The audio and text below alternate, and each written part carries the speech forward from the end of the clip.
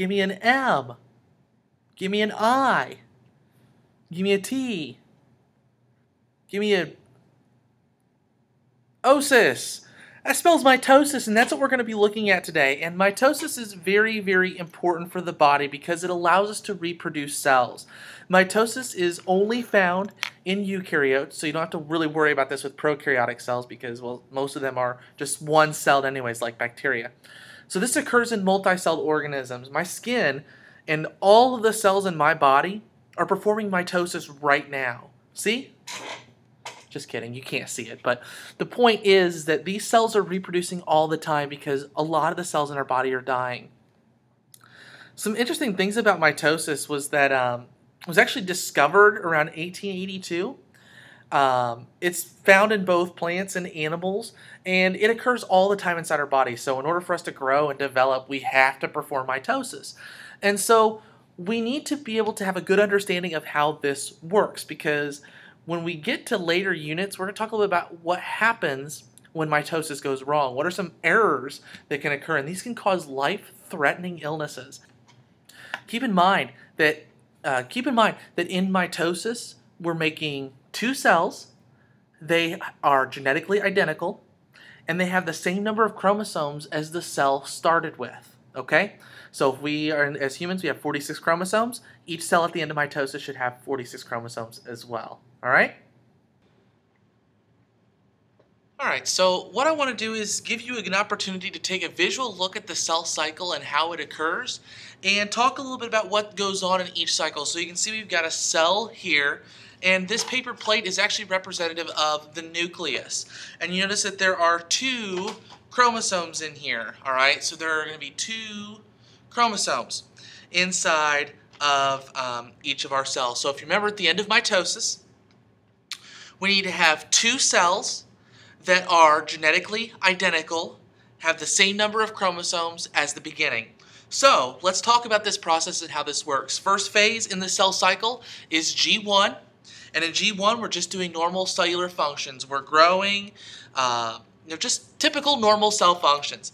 And then comes S phase. And in S phase, we are going to replicate our DNA. If you remember DNA replication we've talked about in our last unit.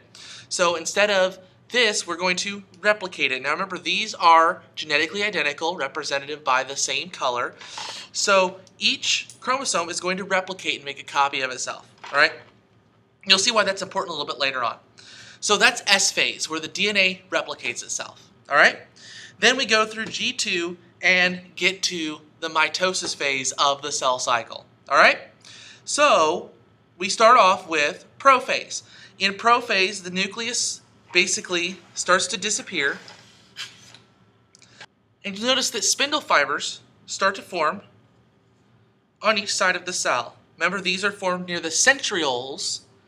All right, and we'll just have these little spindle fibers here. And they serve a very important function a little bit later on. So that's prophase, all right? In metaphase, these spindle fibers are actually going to attach to the chromosomes. All right? So in order to do that, the chromosomes need to line up in the center. All right? And they line up along what's called the metaphase plate. All right? So right here, this is your metaphase plate, and those chromosomes are lined up in the middle. They're lined up in the middle so that they can equally spread apart. Remember, we're trying to get the exact number of chromosomes that we had at the beginning. So that's metaphase. All right. In anaphase, these chromosomes are going to pull apart. All right. Those spindle fibers are going to start to contract and pull those chromosomes apart. All right.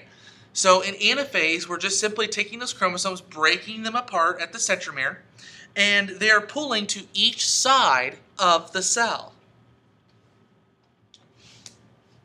We've gone ahead and moved to a little bit different look here. This is telophase. All right, the chromosomes are being pulled apart even further. You notice that there is some pinching in the middle here.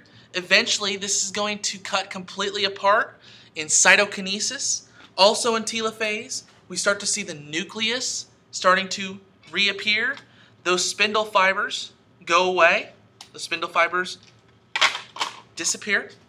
And what we end up with all right, once this performs cytokinesis, is two cells that are genetically identical to each other. Don't they have the exact same number of chromosomes as when we started? The answer is yes. All right. One thing to keep in mind, though, as we go through this, this simulation only shows two chromosomes undergoing this process. All right. In a human cell, all 46 chromosomes line up on that metaphase plate. So there's you know 23 times as many of these going through the exact same process, but the, the process is still the same. The fact of the matter is you get two cells that are genetically identical, all right, that have the exact same number of chromosomes as before. And that's important. We want to make sure that we have the same number of chromosomes and the same genetics because our skin cells are performing mitosis. Every cell in our body, aside from sperm and egg, are performing mitosis. All right?